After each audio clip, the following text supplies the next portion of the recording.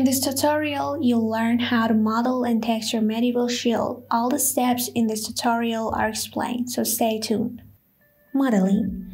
In the first step, we will make the base mesh, which in this tutorial we use a sketch for the reference. First, we add a plane, we put our plane in the best position, and after that we go to the edit mode. Direct the vertices to put them in the right place because the shield has a symmetrical position.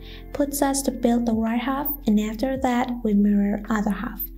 Here from the transform, place the pivot point on the active element and enlarge the scale. Then make the location more accurate by dividing the plane into two faces.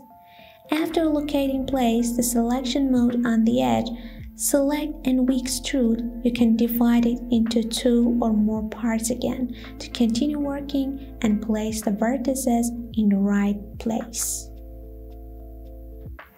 After turning the initial base into a shield, we can create vertical loops with the R control.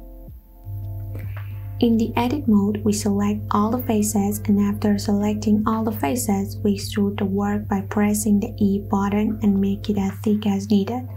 Then we select and extrude the surrounding face loops and then for the softness we go to the modifier properties and we add subdivision surface. At first, the appearance of the work is a bit messed up. For fixing this, we go to the edit mode and we push Ctrl R, then we add edge loops.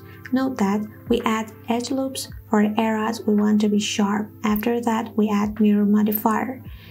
So our object mirrors well in the center of the three-dimensional space we add a cube and specify that the shield be symmetrical based on the center of the cube so we don't have any problems in the other software. To do this, we go to the mirror modifier and in mirror object panel, we select cube to eliminate the deformation. In the middle of the work, we activate the clipping tick in the mirror modifier then we go into edit mode and select all vertices of the central part of our object and direct it to the left and right to fix this bug. Now, to bend the shield and shape it, we create a lattice, and after scaling it, it covers the area around our object and has the least extra space.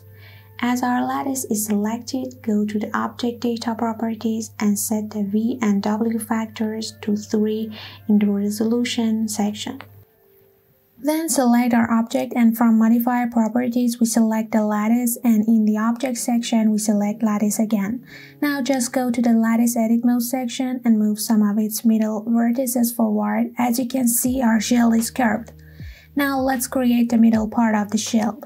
Add a cube, scale it so it fits our job completely.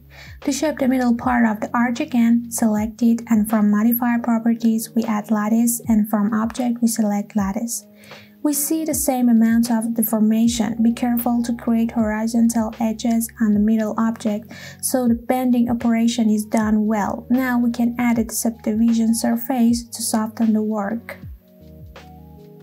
Detail. After we made our shell base mesh, we export our object in FBX format and import it into ZBrush software. After importing it and adjusting its scale, we divide our model.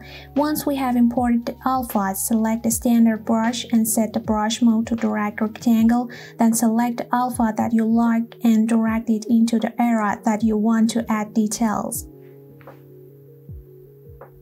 If the high subdivision slows you down, you can DynaMesh the object instead of using the high subdivision. In order for the alpha to be applied only on the work and not to affect the back of the work, we activate the back face mask from the brush menu under the auto masking menu. Now the alpha will be applied only on the front part of the work. After we have detailed all parts of our object using alpha, we'll use alpha again to create more details such as metal or scratches. After we have given details to all the work, we merge all parts of our shell. Then we will get a duplicate from the merge file. We will name one of them low poly and the other one high poly. Select low poly and from the plugin menu, we select the Decimation Master.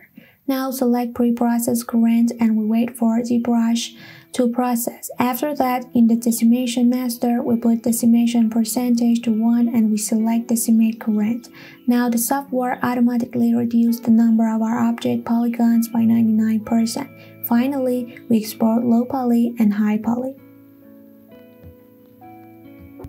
Texture we import the low poly model into the Substance Painter software and when importing, we activate the auto unwrap so the software automatically unwrap our model.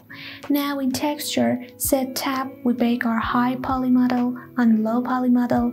Finally, we paint and glaze our work using Substance Painter materials and smart materials. I use CG Sphere Ornament alphas to give details to the shield. You can download these alphas with the link in the description.